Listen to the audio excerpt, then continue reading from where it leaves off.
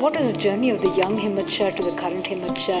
When you look back, do you see some something जो journey happen? चली गई उसको उसको अतीत मानते हैं When I first came to Delhi, which was in 1990, one of the artists that I was really intrigued by was Himmat. है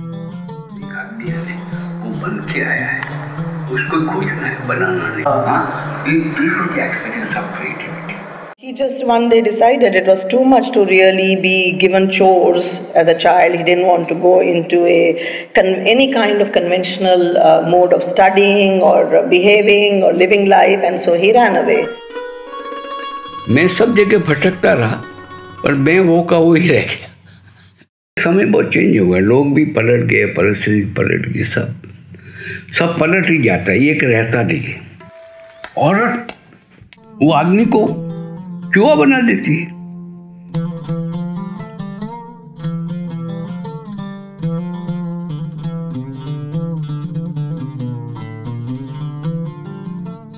You see a beautiful woman and you have lust and you look at it, you are not gentleman.